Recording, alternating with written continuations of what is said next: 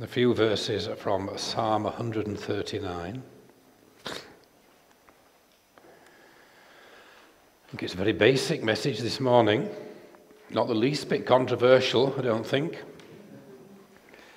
Although we're surprised what's controversial nowadays that didn't used to be. But, uh, 139 Psalm and verse 9. If I take the wings of the morning, and dwell in the uttermost parts of the sea, even there shall thy hand lead me, and thy right hand shall hold me. If I say, Surely the darkness shall cover me, even the night shall be light about me. Yea, the darkness hideth not from thee, but the night shineth as the day. The darkness and the light are both alike to thee. For thou hast possessed my reins. Thou hast covered me in my mother's womb. I will praise thee, for I am fearfully and wonderfully made. Marvelous are thy works, and that my soul knoweth right well. Fearfully and wonderfully made.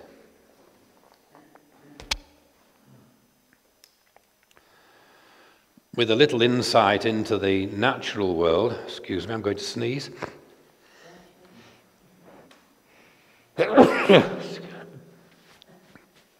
Somebody hasn't dusted. With a little insight into the natural world, we can see something of the design behind creation. And how much more hope do we have who believe in divine design? Than those who put creation and all its wonders down to mere chance or accident of circumstances. And we can clearly see around us the perfect and amazing way in which nature has been tuned to work. Bearing in mind, of course, we live in a fallen world. Things don't work as they should. Many of us know that in our own bodies. As a result of the fall and the entry into the world of sin, things don't work as they should. When we look around the world, we see a world that is now imperfect, and we read news from all over the world about all kinds of things happening in nature in these days. Not, not all of them are entirely natural, I suspect. And there's, you know, people say, oh, climate change is causing fires. Uh, hot temperatures don't naturally make everything burst into flames. The Africans have had hot temperatures for many years and they don't have fires all the time. There's something going on behind the scenes which isn't entirely natural. I think that's fairly clear. But the natural world has fallen, but even so, we can see how wonderful it still is. We can only imagine how wonderful it was when it was created and how wonderful the new heavens and the new earth will be. This understanding of the Creator God is a far broader subject than simply the matter of the first chapters of Genesis. It's rather the very bedrock of our Christian faith. Because without the firm assurance of biblical creation, the New Testament of salvation becomes invalid. The supposedly scientific theory of evolution is based entirely on chance and on the likelihood of things just happening to come together. Looking around at the wonders of the natural world, even as they are today, and reading of the incredible things that birds and animals can perfectly accomplish, many of things that we can't do, I say that the idea of it coming about by accident is ridiculous incidentally, unscientific. It's on a par with taking three old cars, crushing them up, breaking them into pieces, and throwing them into a skip, then chucking in a hand grenade, waiting for the bang, and finding a fully functioning Sea King rescue helicopter sitting there in his place. And it's about as likely. Whereas Darwin's ideas had something going for them, and a lot of what he said was very sensible, which helps to lead people into error. You know, error isn't dangerous as long as it's clearly error. But when you have something that starts off good and sensible and then leads gently into error, that's much more dangerous, particularly in the Christian churches. But Darwin's ideas had something going for them. For instance, the idea of adaptation of species within their own limits and what has become known as the survival of the fittest a theory which incidentally goes against the general theory of evolution. Darwin actually contradicted himself there. There is absolutely no evidence for the evolution of one species into another different species. There's no evidence that that has ever happened. This teaching is much more of a religious nature than scientific because its adherents, including some very famous names from the BBC, essentially manufacture a faith of their own. They make it up and they call it science. And people are blinded by that word science. Oh, well, if it's science, it must be right. We had it all in the pandemic, don't we? Didn't we? Now we have it with climate change. When the scientists get going, people tend to bow in adoration. The scientists must know better.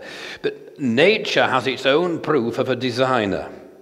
And the natural system is a closed circuit of perfect counterbalancing and interconnecting smaller systems, even though they're fallen and they don't work properly anymore. But everything in nature has a point and a purpose, and they are designed to work together. Some are very obvious. Like there's a particular species of hummingbird that has a particular kind of beak, extremely long beak, so much that it has to sit at night with its head down. If it puts its head up, it'll fall off the branch because its beak is so long it's too heavy to hold. Why would it have such a silly beak? Because it feeds from one particular species of plant. It's the only bird that can feed from that plant, and that, that plant is the only one that can sustain the bird, and that bird is the only one that can pollinate the plant. It works perfectly well, and without the two of them working together, neither of them would be able to exist. Other purposes are not so clearly seen, particularly when you're thinking of spiders and other creepy crawlies and wasps, but without every individual section within it, the whole natural ecosystem would not survive. Creation is multi layered, and each layer cannot exist without the other layers, something which negates the idea that the act of creation itself took millions and millions of years. Without beetles to break down the dead wood, for the goodness to be returned to the soil, without fungi to break down waste material, without an army of microorganisms all working together in their own slot, then plants and trees and fish and the higher creatures would not be able to survive. It all works together. And if you remove the animals at the top, then the rest of the ecosystem becomes unbalanced. If I can use a word that's much misused nowadays, it becomes unsustainable. Wolves, for instance, just to choose one, wolves have had a very bad press. I love wolves. I love bears and I love wolves. And, uh, but they've had a bad press. They were exterminated, eradicated from Britain in the 1700s. So Jeff remembers seeing one cross the road on his way to school one morning, but most of us won't remember them. They hung on in the United States for some time longer, but they were eventually shot and hunted and poisoned almost to extinction. And it was found that when wolves were removed from Yellowstone National Park, which was the first national park in America, actually the first national park in the world, then the ecosystem, which would have been subordinate to the wolves, began to suffer every part of Yellowstone's ecosystem started to go downhill. It started to degrade. This was basically because without wolves at the top as predators, then the deer and the elk and the moose and all the other things, the other herbivores, the things that eat grass and plants, they flourished in such huge numbers that they started to eat all the buds and all the grasses and all the flowers, degrading the environment in which they lived and making the national park a difficult place for creatures further down the chain. It's actually called a trophic cascade. You knew that, didn't you, Joan?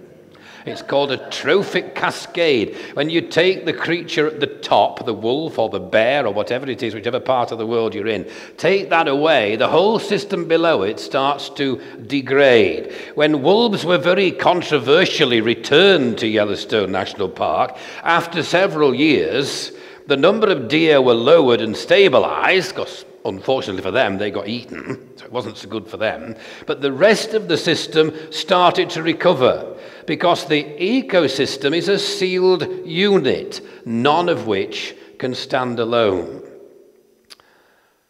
We have an ecosystem of a world environment which works together. And it can't, if you take bits of it out, it starts to fall apart. Everything had to be started off already working. That's my point. Not all exactly at the same time, but within a very short space of time, already working. It's the same today for us with some of the organs in our bodies. Some of us know that bits don't work properly and we struggle with that. But for instance, your eye can only function as an eye if the whole of the eye is there working together as a functioning unit. If you needed so many years for your eye to form, you would be blind. It would be completely useless unless it was whole and completely functioning and the system as a whole, as it was created perfectly, worked together uh, only because it was all together. And humanity is part of it. And we should seek to live as Christians in a way which benefits nature as a whole. In other words, we shouldn't chuck our plastic bags into the environment, and we should be careful what we do because we are custodians of this world and we should seek the best for it. But it's also higher. Man is also higher than the rest of creation because man was the only creature into which a living spirit was God breathed. That's what makes all the difference. So that's where Psalm 139 describes as fearfully and wonderfully made. Don't know whether you feel fearful, and why I'm looking at you too, but whether you feel fearfully and wonderfully made just at this moment, I have days when I don't feel fearfully and wonderfully made at all. But I read Psalm 139 and it reminds me of the truth. Because remember, we don't go by what we feel, we don't go by our circumstances or the news we've had or what we hear from on the news. We go by what God says and what he says about himself and what he says about us. Fearfully and wonderfully made. The creation story is not just restricted to the first chapters of Genesis, the New Testament refers to it and relies upon it. Acts chapter 17, verse 24 tells us God made the world and all things therein. So to deny the truth of Genesis is to further deny the truth of the book of Acts because the book of Acts relies upon it. And therefore, if you disbelieve the truth of Genesis, you're disbelieving the apostles. In the Gospel of Matthew, 19, verse 4, Jesus himself is recorded as saying, He which made them at the beginning, male and female. Said it wasn't going to be controversial, didn't I? That, that, who would have thought that that statement would have been would be controversial? Ten years ago, who would have thought there'd be any controversy in saying that God made them male and female. And that's what the Bible says. That's what the Bible teaches, and it's still true. So we see that Christ himself believed the Genesis account. Therefore, to put oneself at odds with Genesis, as some Christians do, is actually to set oneself against the Savior himself. Because the Savior pointed to the truth of what Genesis was teaching. So Genesis is an important foundation. If you pursue the theory of evolution, remember it's only a theory, that's all it ever has been, and it's an unimproved theory still today, and many scientists no longer believe it. They've totally discarded the whole idea. But if you pursue it to its ultimate end, you end up with the Nazis murdering all those humans that they felt were of an inferior race. That's where you go if you take the theory of evolution to its eventual end. The truth is that you this morning are where you are with a design and with a purpose which was decided by the Lord way back in prehistory. Your life is not just an accidental coming together of cells and hormones. It's a fearfully and wonderfully made thing, and it's held in the palms of God's hand. In Jeremiah 1, verse 5, God speaks to his servants with these words Before I formed thee in the belly, I knew thee. And before thou camest forth out of the womb, I sanctified thee and I ordained thee. This is what he repeats today to each and every one of his beloved children.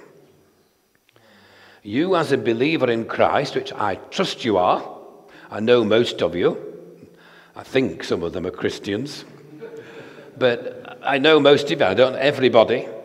I'm trusting that you are a believer in Christ this morning. If you are, then you were sanctified and ordained before you knew anything about it. There had to come a point in your life where you had to give your heart to the Lord Jesus. You had to repent of your sins and allow Him to become personal Lord and Savior. But the process started a long time before you ever knew about it. Creation teaching brings a purpose and a meaning to our lives. Sometimes our lives take an unexpected turn and our circumstances are sometimes not wholly conducive to seeing a connected plan. But the scriptures tell us that we are made with a purpose as people, and we are enlivened with a spiritual purpose as born again Christians. Not only are we wonderfully and marvelously made, but twice over. If you're putting your trust in the Lord this morning, then there is no part of your life or existence or experience which is not fully under the control and the guiding hand of the Creator who became your Redeemer. At Calvary, when Christ shed his blood for you, you were bought with a price to serve with a purpose. Not always easy, excuse me, it's not always easy to understand the purposes of God. His ways are higher and greater and deeper than ours. He sees things from before the beginning of time to after the final culmination, whereas we only see our little bit. And it often gets cloudy and stormy and windy and we don't always see clearly. In fact, we don't always see, you read something in the scripture and you don't always see the truth that's staring you in the face because your vision is blurred by your circumstances. Only perhaps later, when somebody points it out to you or the Lord deals with you specifically, you suddenly see something and think, Why didn't I see that before? Because I wasn't looking at it with the right eyes. Even when it's written down in front of you, sometimes it's difficult to fully understand because our vision is limited.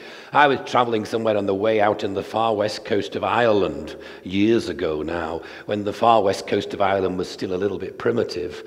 And uh, I had a, in those days, you had a radio and a CD in your car. You don't get things like that nowadays, dear. All very old fashioned stuff. I was listening to the local radio, somewhere way out, either Mayo, Connemara, or Cork, somewhere way out there.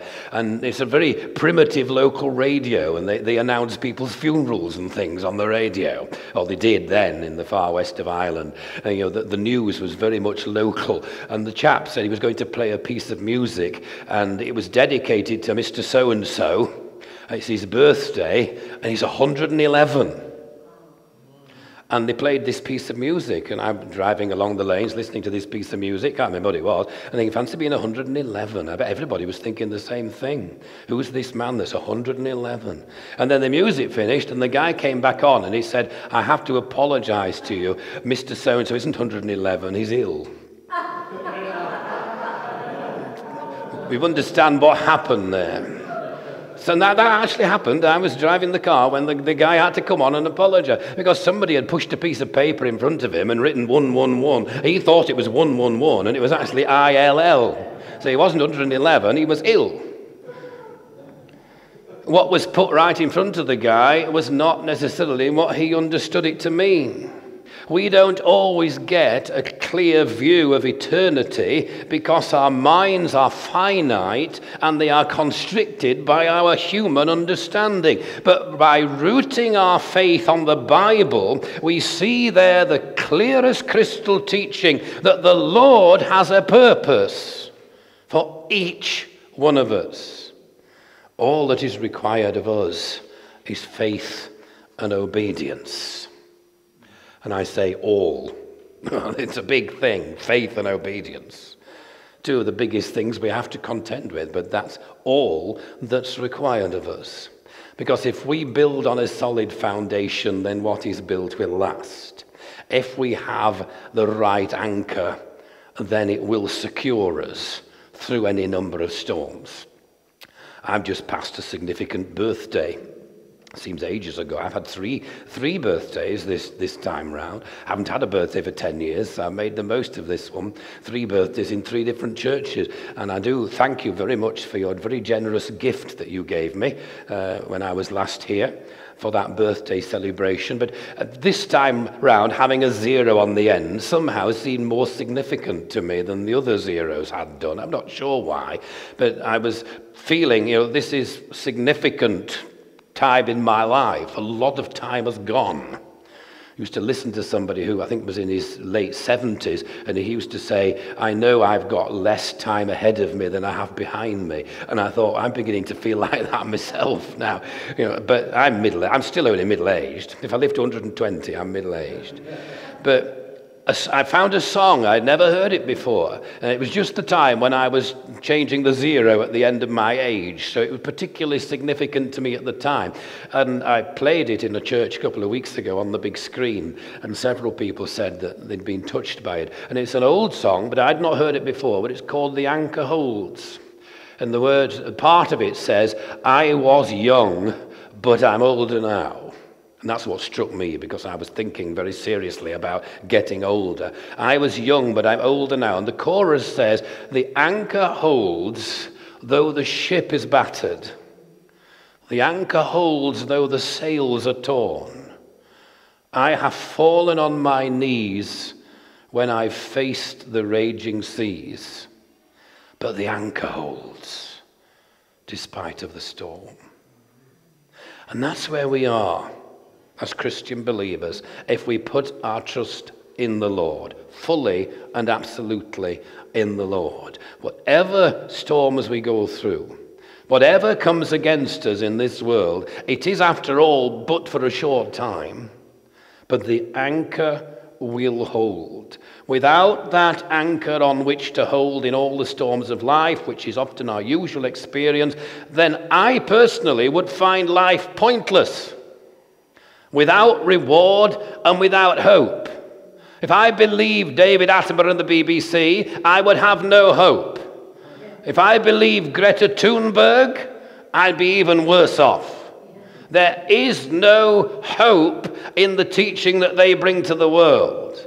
They bring an empty, desolate message that your life is just an accident and has no point or purpose.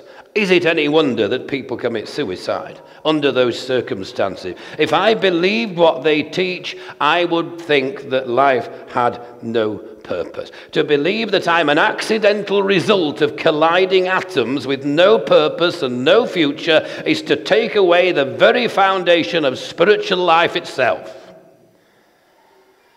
Romans 8:28 is a verse which is often quoted. I'm sure you know it, but it's often only quoted in part. And we're interested in the second part, which is often missed out. All things work together for good to them that love the Lord. The second part, to them who are called according to his purpose. That's the essential part by trusting in faith in the Lordship of Christ, His personal forgiveness of our personal sins, and His being our heavenly Redeemer, we are being called according to His purpose.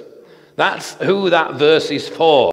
If you are called according to His purpose, as the Scripture teaches, then all things work together for good. And that purpose does not stop or decline until you're lifted up to glory in the heavenly realm, when He either calls us home or comes for us. We had read earlier to us Ephesians chapter 1, verse 11 of that says in the AV, In whom we have obtained an inheritance according to the purpose of him who worketh all things after the counsel of his own will, that we should be to the praise of his glory. So you get there a clear statement about the purpose for your life. You are meant to be. You are designed to be. You are redeemed to be to the praise of his glory. Are you? Is the question, isn't it? Am I? Is the big question.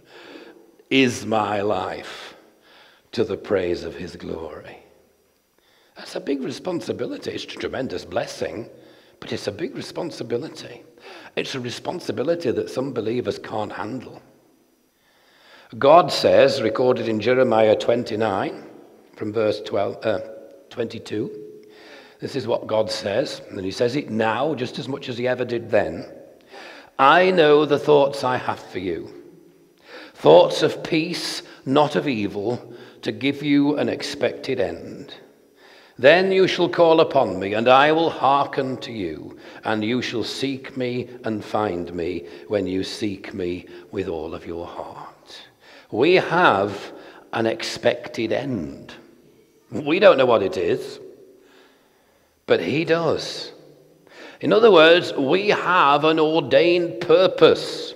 And when we seek the Lord with all our hearts, we will begin to move into the place of understanding. And when you've been saved for 75 or 80 years, you're still just beginning to move into that place of understanding. Jeremiah's recording of these words is for our benefit because it describes the position of the born again believer. I know it was written in the Old Testament, but it describes the position of the New Testament born again believer. But the following verses that follow on immediately from that in Jeremiah uh, refer specifically to God's people, Israel and they proclaim they're being gathered from all the nations and returned to their own land. Prophecy which has been and is being fulfilled in our time, meaning that our own divine purpose is soon to come to fruition. The signs are all around us. We've heard some of that this morning already. The purpose that was set in motion at creation came to one part of its fulfillment when Christ died on Calvary and rose again three days later, according to the scriptures which God the Holy Spirit had already declared. But its final, absolute fulfillment is yet to be seen. And we are included in that part of God's perfect plan, which is still being worked out in these our days. The Bible declares that time itself is in God's hands. And we can see around us today plenty of evidence that time is moving to a remarkable end. Romans 11:25 tells us, "I would not that you should be ignorant of this mystery, lest you should be wise in your own conceits, that blindness in part has happened to Israel until the fullness of the Gentiles has come in." In other words, scripture is saying that there will be a day when his plan to draw his believing people to himself will be completed. And after the last Gentile has come to know and accept the Savior, God's immediate purpose will then return to deal directly with the Jewish people who are still his chosen people.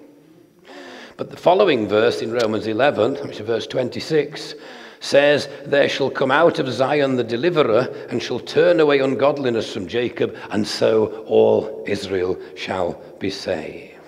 And there's no biblical reason to support the theory that the word Israel there does not mean the actual physical nation of Israel, scattered as many of them still are around the world. God has not yet finished with the Jews. I'm sure you know that. And there is coming a day when their partial blindness will be removed, although through terribly difficult circumstances. But crucially for us, who are mostly not Jewish, that will be after the completion of God's plan with us. Way back in the sixth chapter of Genesis, God declares, My spirit shall not always strive with man. Surely implying there will be a time when it will be too late to be saved. You may occasionally come across someone, you may have someone very close to you in your family or someone that you know very well who has the air about them of being totally closed to the gospel. They've essentially made their decision, they've burned their boats, they're no longer open to the good news of salvation in Christ. Exodus chapter 10, verse 27, and in several other places throughout the book, shows us clearly that God hardened Pharaoh's heart. God hardened Pharaoh's heart. He was completely closed against what Moses had to say. In John 22, verse 40, Jesus, quoting from Isaiah 6, talks about God having blinded their eyes and hardened their hearts so that they could not understand and they could not be converted. This is perhaps difficult to receive.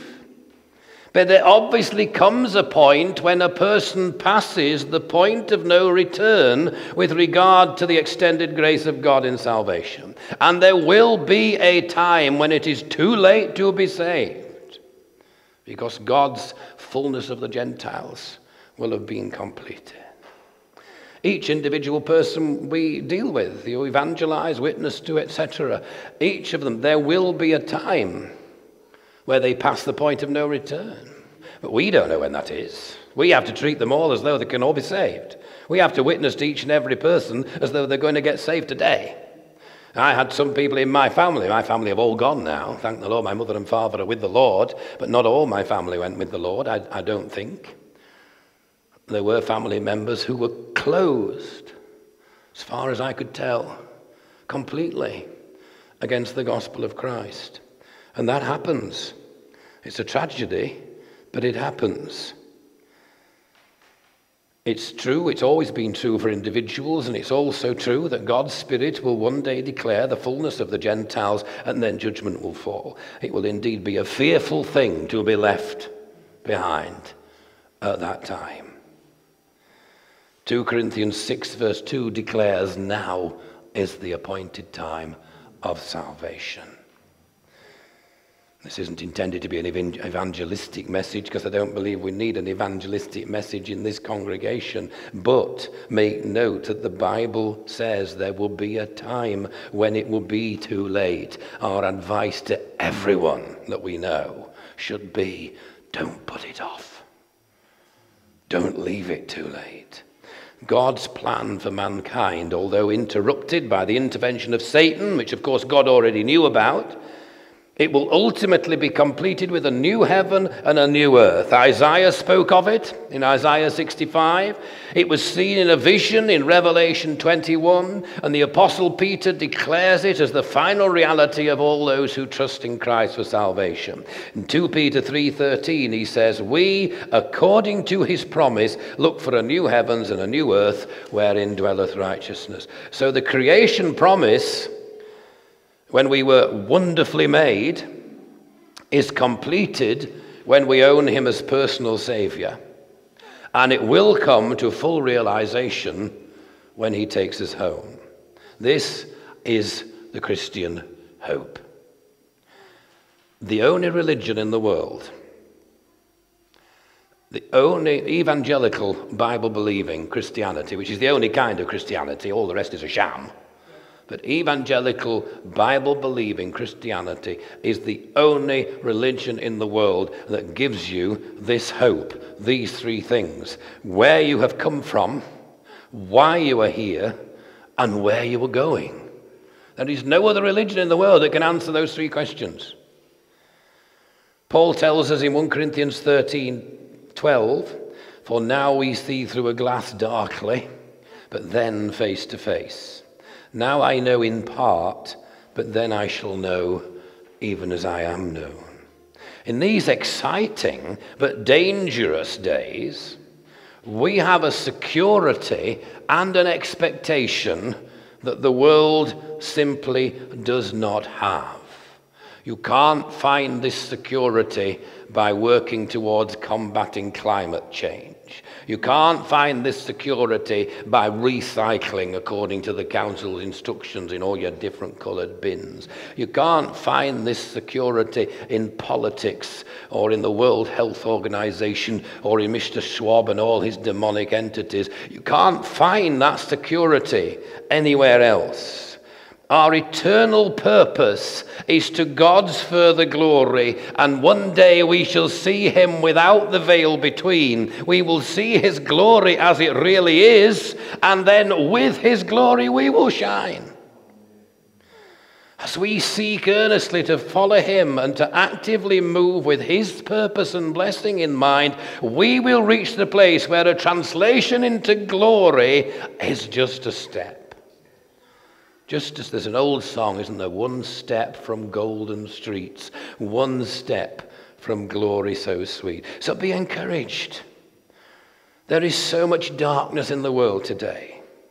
There's so much open sin in opposition to God's word, even within the churches. There's so much fear and so much anxiety, so much uncertainty, so much depression. All of these things brought on by a lack of understanding of why we're here, what our purpose is, where we came from, and most essentially, where we're going. We have a purpose. I know I've said that, I'm repeating myself, but that's the message today. We have a purpose, not because there's anything special in ourselves.